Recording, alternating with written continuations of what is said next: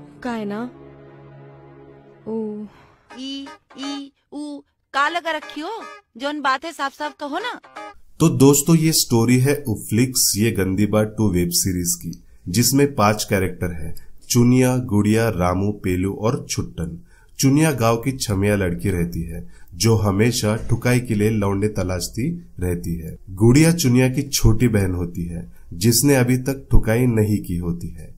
उसको ठुकाई से डर लगता है और रामू गाँव का रोमियो रहता है, जो ठुकाई में नंबर वन रहता है। लड़कियों को ठोकने में एक्सपर्ट होता है और एक रहता है पेलू, जिसको लड़कियाँ पेलने का बहुत शौक तो होता है, पर उसके बंदूक से जल्द ही पानी निकल जाता है, या तो उसकी बंदूक समय पर अटक जाती है, या वो पेल नहीं पाता। और वो रामू का भी खास दोस्त होता है। आखिर में एक कैरेक्टर होता है छुट्टन, जो पान की टपरी चलाता है। पेलू और रामू अक्सर उसकी पान की टपरी में सिगरेट पीने जाते रहते हैं और छुट्टन को गाँव की सभी घपाघप वाली खबर पता रहती है और कौन किसकी ठोक रहा है, कौन किसकी ले रहा है, ये सब छुट्टन को पता रहता है। तो कहानी शुरू होती है चुनिया से। चुनिया पेलू के साथ पेलम पट्टी कर रही होती है।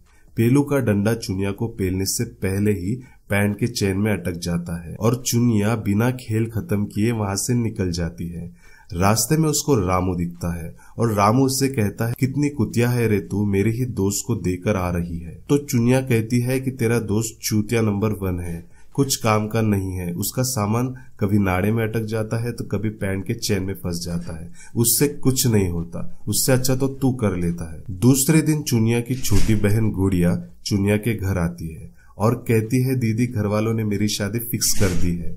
पर अभी भी मैं तैयार नहीं हूँ। तो चुनिया कहती है, क्यों? क्या हुआ तुझे? तो गुड़िया कहती है, मुझे पेलम पट्टी करने से डर लगता है। मैंने सुना है कि बहुत दर्द होता है।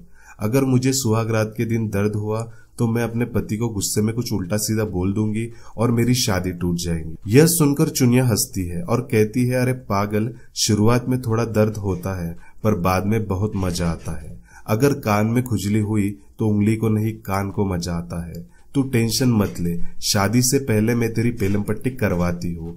फिर तेरा सारा डर निकल जाएगा। दूसरे सीन में दिखाया जाता है कि रामू और पेलू दोनों छुट्टन की पान की टपरी पर बैठे होते हैं। रामू सिगरेट पी रहा होता है, पेलू बैठा होता है और छुट्टन रामू से कहता है, क्या हुआ भैया?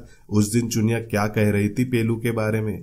तो रामू कहता है, कह रही थी कि तेरा दोस्त पेलू कुछ काम का नहीं है। उसका सामान खेल खेलने से पहले ही अटक जाता है। कभी नाड़े में फंस जाता है तो कभी पैंट के चेन में। और छुट्टन और रामू दोनों हँसते हैं और पेलू का मज़ाक बनाते हैं। पेलू चिढ़ जाता है और कहता है, भोसड़ी वालों, रुको। इस बार तो मैं साथ में औज़ार लेके जाऊँगा, ताकि मेरा तोफ नाड़े में अटक भी गया तो उसे काट दूँगा, पर इस बार मैं खेल तो पूरा खत्म करके ही निकलूँगा। दूसरे सीन में पेलू चुनिया के घर उसकी लेने जाता है, पर चुनिया छुप जाती है और उसकी बहन गुड़िया को पेलू के सामने भेज देती है, ताकि पेलू उससे पेले और गुड़िया का काम हो जाए।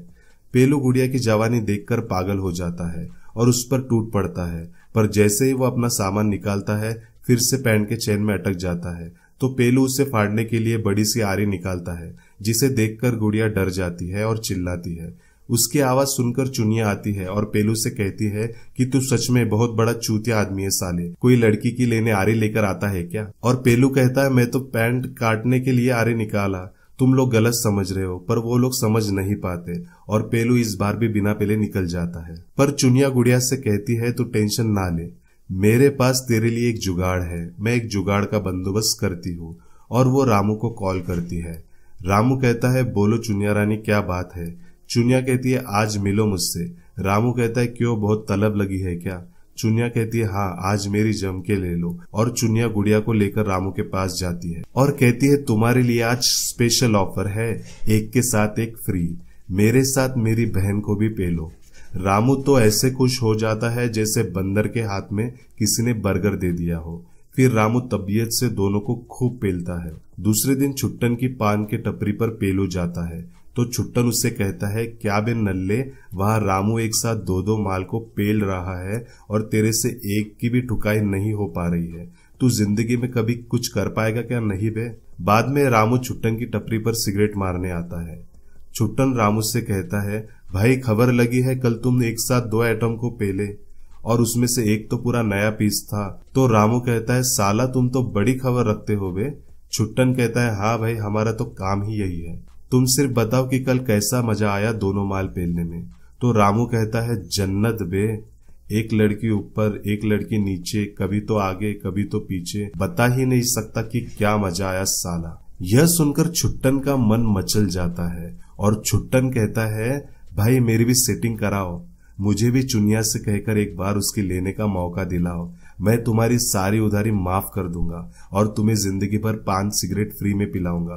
रामू कहता है हाँ हाँ बिल्कुल करेंगे वे तुम्हारा भी काम कर देंगे और छुट्टन खुश हो जाता है। दूसरे सीन में पेलू उतावला होकर चुनिया को रास्ते में रोक लेता है। आज मुझे एक मौका दे, आज तो मैं तेरी सच में पूरी तरह से लूँगा। चुनिया कहती है जाबे साले, तेरे से कुछ नहीं हो सकता।